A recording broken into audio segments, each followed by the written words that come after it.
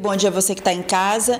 Isso mesmo, na prática nós vamos entender o que que esse rol, como é que esse rol taxativo funciona e como isso pode de certa forma prejudicar os usuários do plano de saúde. Sobre esse assunto nós vamos conversar com o advogado membro da APAC, Leilton Costa. Bom dia. Bom dia, Rayana. Bom dia a todos os telespectadores.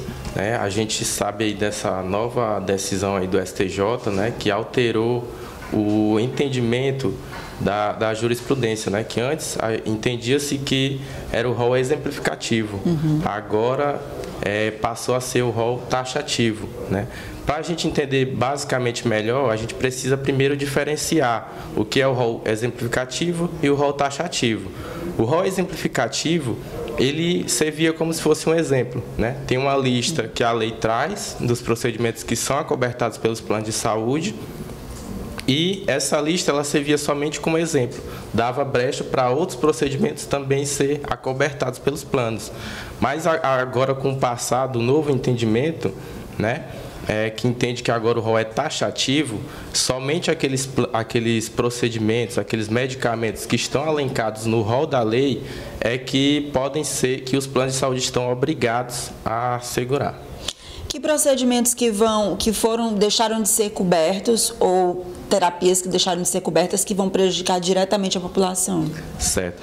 Sabemos que é, com, o passado, com o passar do tempo, né, corriqueiramente é atualizada, né, os, os roles, os procedimentos, né, a, a, as tecnologias alteram todos os dias, né, e trazem novos procedimentos. E a maior discussão era sobre a cobertura do, da terapia ABA, né, que é acoberta aí os, os, as pessoas com autismo. Né? Essa terapia é limitada, ela é acobertada, mas ela é limitada. A maior discussão é sempre para tirar essa limitação né, do, dos autistas, dos procedimentos para os autistas. É, com relação a, a, essa decisão, existe alguma exceção para cobertura fora do rol?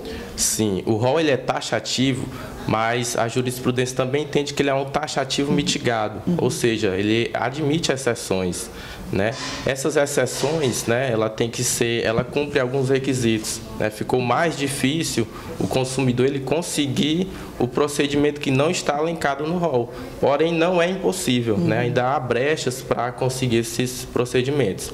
É, dentre elas, né, ela, ela não pode ser, esse procedimento ele não pode ter sido negado anteriormente pela ANS, né? Uhum.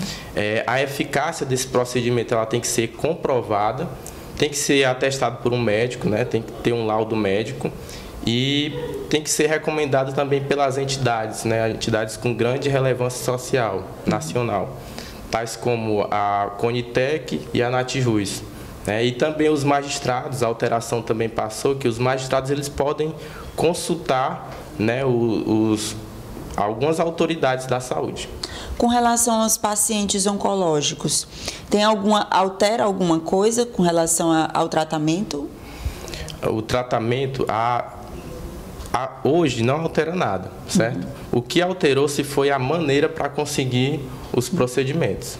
Né? Uhum. Ela ficou passou a ser mais difícil conseguir ela administrativamente, uhum. porque agora a, os planos de saúde estão obrigados a cobertar somente aquilo que está na lei. É, e tem alguma brecha na lei que ela que é nessa decisão do STS que faz com que, que possa permitir que o usuário consiga algum tratamento que esteja fora desse rol? Sim, a, a exceção é justamente nessa, porque a gente, porque a jurisprudência também entendeu que o rol é taxativo mitigado, né? Ele admite exceções e para isso a gente tem que consultar né, um, um advogado especialista na área para ele poder lhe conduzir melhor e verificar se o seu procedimento está no rol das exceções. Uhum. Tá certo, então. Gostaria de agradecer a sua presença. Tem alguma informação a mais que queira passar? Eu que agradeço e só passar para todos os consumidores, né, todos os usuários aí que não se preocupem, que ainda há exceções, ainda há uma maneira de se conseguir que o seu procedimento seja acobertado pelo plano de saúde.